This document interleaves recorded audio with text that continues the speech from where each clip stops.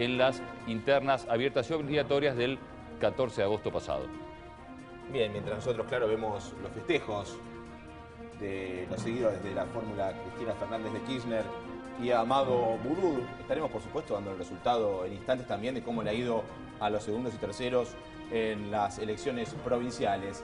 Histórica la elección del día de hoy por muchos motivos, entre otros la diferencia entre Cristina Fernández y su seguidor, en este caso Hermes Wiener.